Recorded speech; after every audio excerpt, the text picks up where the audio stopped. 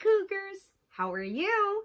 I hope you've had a great week. I miss you so much.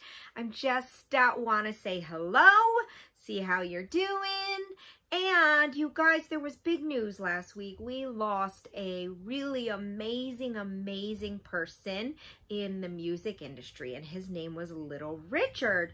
So I thought that we would celebrate his life this week, learn a little, just a little bit about him, and then we'll do a song. Uh, we'll dance to a song of his, okay? So let's learn a little bit about Little Richard. So his name was Richard Wayne Penniman and he was born, he was born in 1932 and he was born in Georgia. And you guys, he had 11 brothers and sisters. Can you imagine having 11 brothers and sisters or your parents having 12 children? Holy moly. Can you imagine 12 children in quarantine right now? Ay, ay, ay, ay, ay. Anyways, he was named Little Richard because when he was little, he was kind of small in frame. They called him scrawny because he was really um, small, he was short, and he was skinny. So his parents actually nicknamed him Little Richard. Isn't that cool? And you guys, uh, interesting fact that I learned about Little Richard is he was born a little bit different. His body was a little bit different. He was born with one leg longer than the other. So when he would walk, he had, uh, they called it a gait, but it was kind of like a little swoosh. When he would walk, he would kind of walk like this right? So people used to make fun of him and um, people used to say that he was a little boy and he used to walk like a girl, right? But I just wanted to tell you that story because he made lemonade out of lemons, you guys, because he let instead of letting his feelings get hurt and like shying away, he actually made that a big part of his persona. So when he would walk, he had this he had this very special walk, and he was very proud of it right? So it's kind of two lessons there. Number one, just to always remind us to be kind, right? Making fun of little Richard when he was little was not very nice. That wasn't a very nice thing to do. But also teaching us that we can always make lemonade out of lemons, right? So that was a cool thing. And the last thing I want to tell you about Little Richard, actually there's a few more things, really cool things, is he was very, very important um, because he was named to be a crossover artist is what they would call him. And this was a time during segregation when segregation was going away. Do you remember we talked about segregation, you guys? How back in the days of segregation, I wouldn't have been allowed to be your teacher because of the color of my skin right? And they were separating people because of the color of their skin, which was not very nice, right? Well, this was the time when they were trying to get rid of it. And he was very, very important because everybody loved Miss uh, Little Richard's music. So black people would go to his shows, white people would go to his shows, and they would all go and just enjoy his music together. So people say that he had a very big part in helping to end segregation with his music. Isn't that beautiful?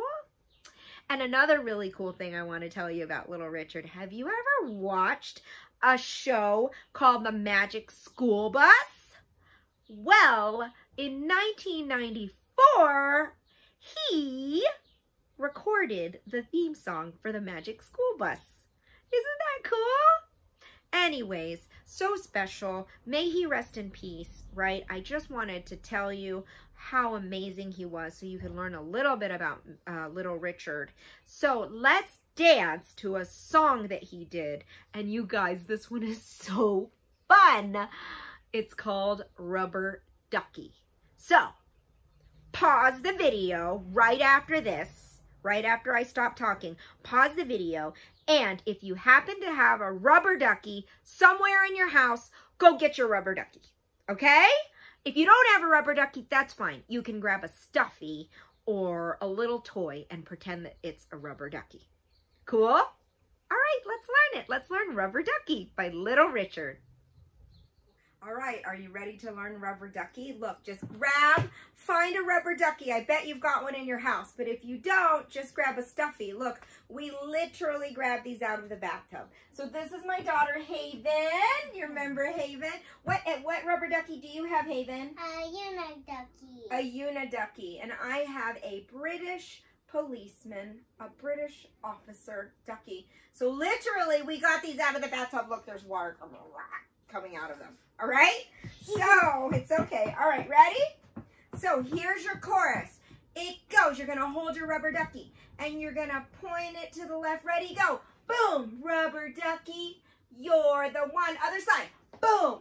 Ready? Then we're going to turn it in a circle. Ready, go. Circle, circle, circle. And you're going to shake your tushy to the ground. Ready, go. Wiggle, wiggle, wiggle, wiggle, wiggle. Let's do it again. Boom, rubber ducky. Other side, go boom. Then we do it in a circle. Ready, go. Circle, circle, circle. Shake your tushy, shake it to the ground. We take it this way to the left. Left, left. Yes, and then you're to wiggle forward, wiggle back. You're to go the other way. Whoop, and a whoop, and a wiggle Rubber ducky, other side, boom. A circle, go. Tushy, tushy, tushy, and you wiggle it to the floor.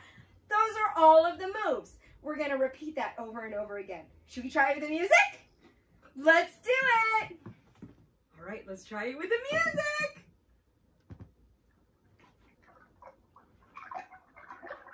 Let's start with a freestyle.